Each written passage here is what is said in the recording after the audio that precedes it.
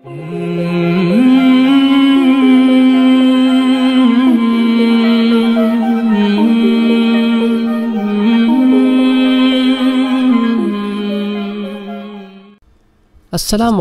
वरहमल वर्क आप में से बहुत सारे लोगों ने ये सवाल बार बार पूछा है कि दुनिया में जो कुछ हम पर गुज़री है कि इन ताला जब जन्नत में जाएँगे तो आपस में ये बातें करेंगे कि नहीं करेंगे?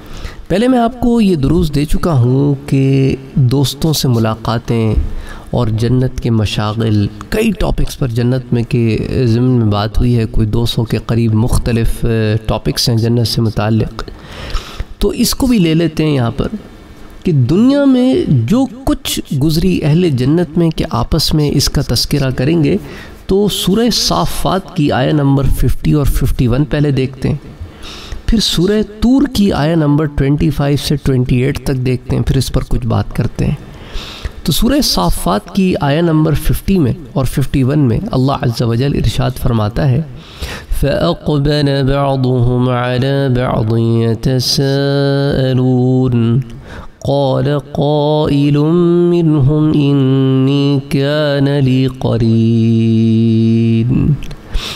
और इसी तरह 52 में फरमाता है, यकूल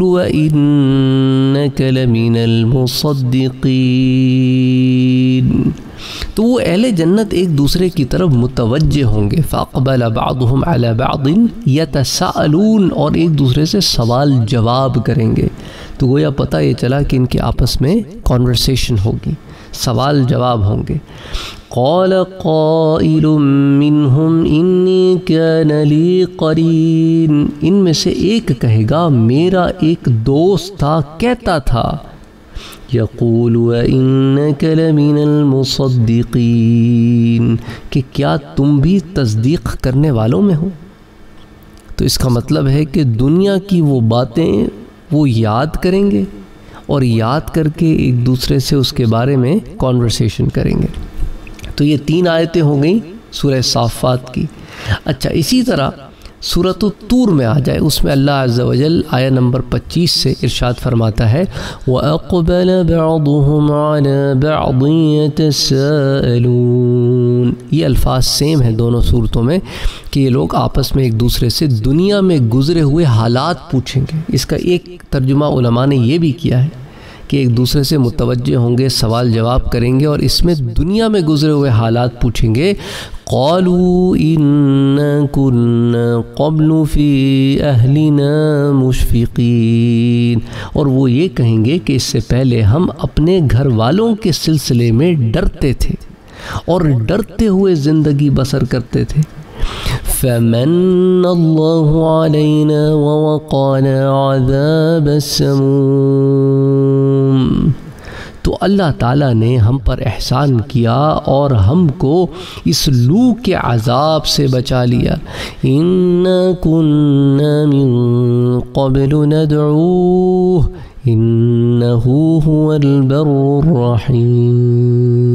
यकीनन, हम इससे पहले उसको पुकारते थे, क्योंकि वही है नेक सलूक करने वाला मेहरबान है। तो बहरहाल यहाँ पर भी यहाँ पर भी वो एक दूसरे से वो बातें करेंगे जो दुनिया से ताल्लुक़ रखती थी। और इसको ज़िक्र करेंगे कि हम अपने घर वालों में थे और हम तकवे की ज़िंदगी गुजारते थे, हम डरते थे कि कहीं हम ऐसे काम ना करें कि हम आदाब के मुस्तक ठहरें। लेकिन हमारे रब ने हमें बचा लिया तो डरते कैसे ज़िंदगी गुजारते थे? उसके बारे में तस्करा करेंगे कि फ़ला गुनाहों से बचते थे, ये करते थे, वो करते थे। सवाल जवाब है ना, तफसीली गुफ्त शनीद है।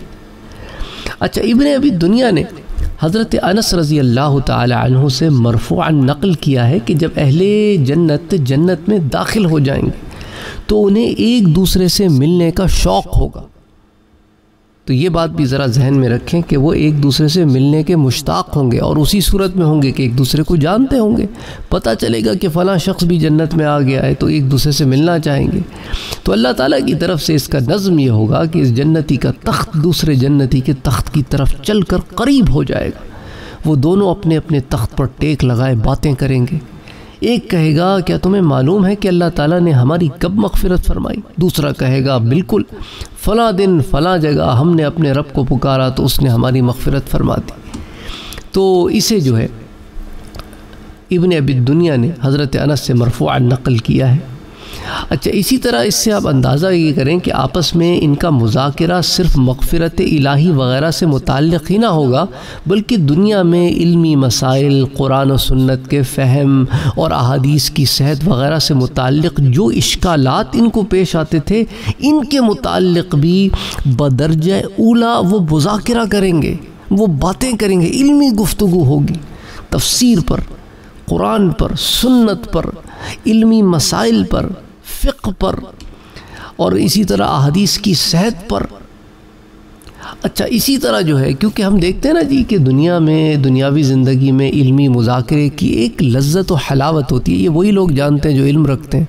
तो इसलिए जब वो इल्म में कलाम करते हैं तो फिर साहिबान इल्म ही उस बात को समझते हैं। वो एक छोटी सी बात कर जाते हैं, लेकिन वो ऐसी बात होती है कि उसको समझने के लिए फिर कई सफ़ात दरकार होते हैं। लेकिन जो अहले इल्म होते हैं, वो बात समझ भी जाते हैं, उससे महजूज भी हो जाते हैं। तो इल्मी मुजाकरे की एक हलावत होती है, एक लज्जत होती है। और इसी तरह जो है, जिस तरह हर चीज़ की लज्जत होती है तो इल्म की भी एक लज्जत होती है। ये वही शख्स समझ सकता है जिसको इल्म हासिल करने का शौक़ हो और इल्म पढ़ने, पढ़ाने का शगफ़ हो।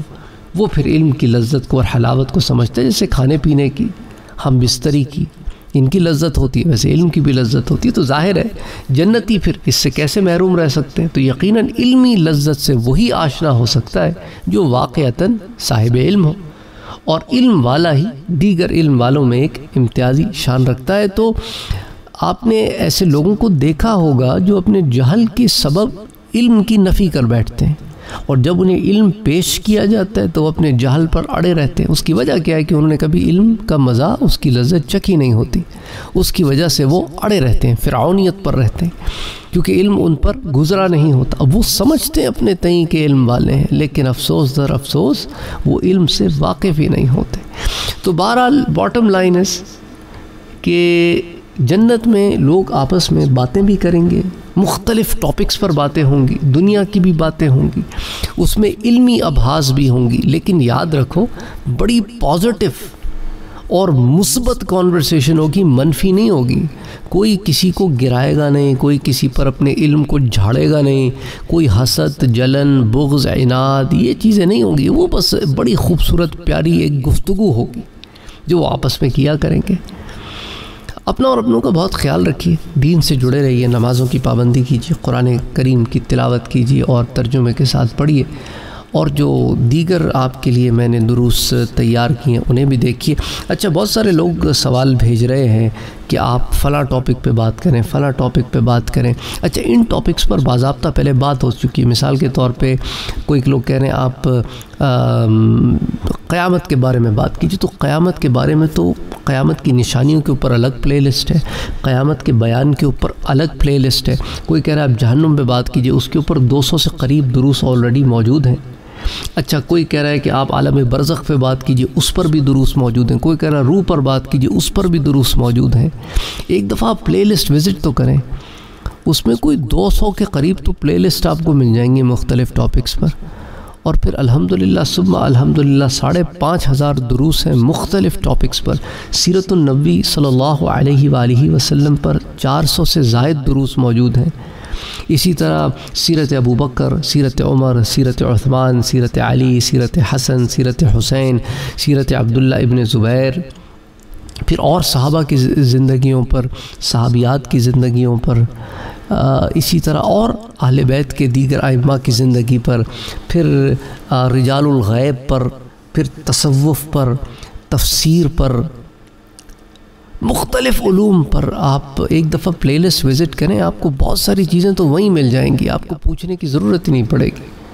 और फिर मैंने बहुत सारी प्ले लिस्ट ना वीडियो की डिस्क्रिप्शन में भी दी हुई हैं, उसको भी एक दफ़ा चेक कर लें। तो इन ताला, ये एक इल्मी चैनल है तो यहाँ पे कोशिश यही है कि इल्म बाँटा जाए और मुख्तलिफ़ जो जाविये हैं इस इल्म के और मुख्तलिफ़ तरीक़े के जो इल्म हैं वो आप तक पहुँचाए जाएँ ताकि इल्म का एक माहौल आम हो और इल्मी गुफ्तु शनीद आम हो। लोगों में इल्म होगा तो फिर वो इल्मी बातें करेंगे और इल्म नहीं होगा तो जहालत की बातें करेंगे।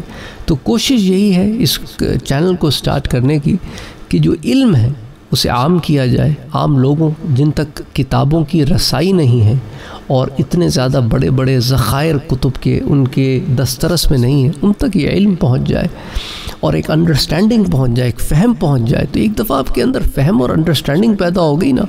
तो बहुत सारी बातें तो आप पर वैसे ही खुल जाएँगी। तो इन ताला अब हमने एक नए सिलसिले पर भी काम करना शुरू किया। थोड़े अरसे पहले जिन्नात पर काम करना शुरू किया। उस पर भी 200-250 दुरूस मौजूद हैं। काम चल रहा है उस पर मज़ीद। साथ साथ हमने जो है ये मौक्ल पर भी काम करना शुरू किया है और अब रूहानियत के ऊपर भी काम करना शुरू किया है। साथ साथ थोड़ा थोड़ा तसवुफ़ के भी आपको बयान देता रहता हूँ।